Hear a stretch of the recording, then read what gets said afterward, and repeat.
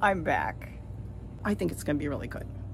Okay, let's dive in there. So Gary and I stopped over at Dollar Tree because we've heard there's a lot of changes going on. This is Robbie from Southern California. So there it is. Everything is still a dollar 25 I should say most of the stuff and they have a huge garden selection still holding at a dollar 25 now I found some really interesting things. Isn't that cute? I had to buy it. It's just a shopping bag, but it's got hummingbirds. They still have shovels for $1.25, which is always good to have because I'm misplacing them everywhere. I wish they had red handles. And they're getting in their seasonal items, and I really like those placemats you saw on my shopping cart. And now they do have three to five dollars. Now, in the front of my Dollar Tree, they put all the $1.25 items. So it's different types of flower pots. Some hang, some are just for sitting. They've got the stones that they make that you can sit around, I should say decor. Different small flower pots if you were starting seeds or just wanted something for a windowsill, all different things. All this that you're looking at here is still $1.25. Now, I'm wondering if they're working out a planogram because the entire store was changed. And all these things, including their new flagpoles that they've got there, mine hadn't had these long ones, only the hooks. And I did pick up a few of these, and they're flags. They're $1.25. They are keeping that in a separate area. They've moved it to a new area, so now I have to get used to the store again. Now, I didn't have a lot of time to spend in there like I usually do. Now, they do have containers, and I'm working on a few different hummingbird bird baths and projects. So I'm going to get a couple of those, though those are very thin. I'll let you know to put water in. But they moved this too, so I really have to spend like an hour or two. And having Gary, he had gone to Harbor Freight and he wanted to go home with his tools, that he was just kind of roaming and looking as I was investigating. Now, here is something I was excited to find the sun shades for the card. And this is going to be a big thing for the garden this year. Now they've got all this moved again to a whole different section. And this entire section at my store was $1.25. I wanted to make sure they didn't raise the price because it was more money at the 99 cents store. There it is. Now this is new. They put a scanner in the store. So if you have any questions, you can walk over and scan the item as long as there's a barcode on there. Now this is the more expensive aisle for gardening supplies. As you can see here, Solar lights are $3. Now they've got these stools or stands. I don't know if they're for flower pots or to sit on, but I pulled one out and looked at them and they're kind of really lightweight and wobbly. Doesn't say how much weight you can put on them, so I wouldn't sit on those. And really nice flower pots to grow in, heavy plastic. They got nice hats and that's great for the garden. And they've got a lot of solar lights. They're going to bring in more because they have the ability to raise the price up to $5 right now. So this is just you can kind of see with me, because I was in shock. I had not seen this. In, in a matter of two days, they changed the whole store. All the new decor they had. And I really do have to make a good slow trip through the whole thing. Now, wait a minute.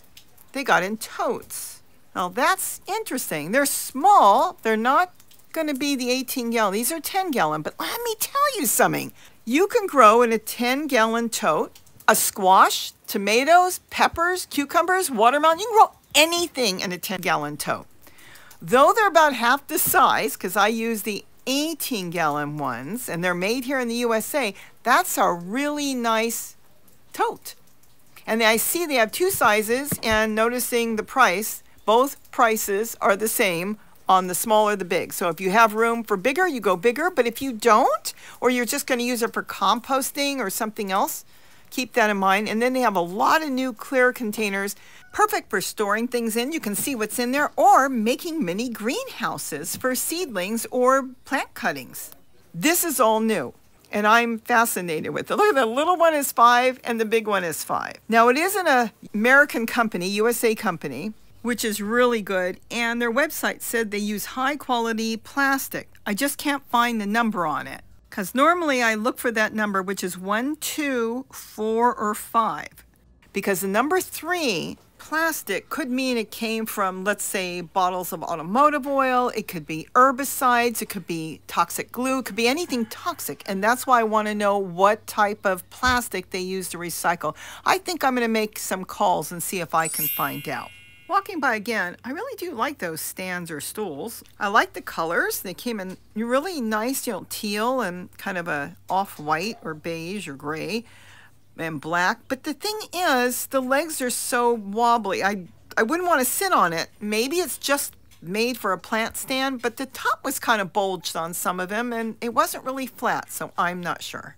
Now maybe that's what they're supposed to be. And here they've got really cute solar lights. Look at that. All different animals, their eyes light up, which is cute at night after they get charged up by the sun. Now a Frisbee, we can use that on the top if we wanted to make a water fountain. Keep that in mind. And Frisbees, I don't worry about them because they've got any toxic plastic, being it's for kids, they're supposed to label it. So that would be really good. Also, they can be used for bird feeders as well. But they've got a lot of different things. Remember, you can grow in buckets too. And that's what I did. Went to Dollar Tree. I picked up a few things. Ask me what, you know, questions on what you want to see. Check out your Dollar Tree because I think they're all going through a big change right now.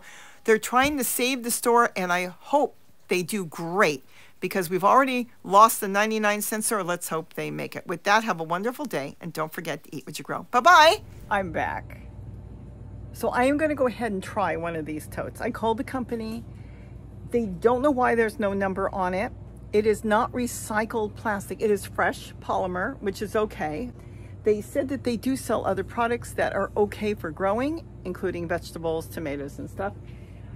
It smells good. I've told you in the past that if it's no good, the plastic, then you can usually smell it. It might smell oily, it might have a chemical smell a lot of times, especially automotive trays and stuff, you'll smell them. They're new in the store and you kind of smell it and it doesn't smell right. Almost smells like something you opened up a container and you've got a, a whiff of something in there. These don't have any smell. Now, though these are only 10 gallons, and I get the ones from Walmart that are Sterilite, you can get them from Target as well, for about $7. And they still have them. Sometimes they're not online. Go into the store and ask if they can get them. They're also gray, $7. Those are 19 gallons. Now these are 10, but you can do a lot with 10. It doesn't have to be that big. You can grow a zucchini in that. You can grow uh, tomatoes. There's all kinds of stuff. So I'm going to get one. I'm going to plant it up. I'll put it on my deck so you can keep an eye on it. I'll start with one.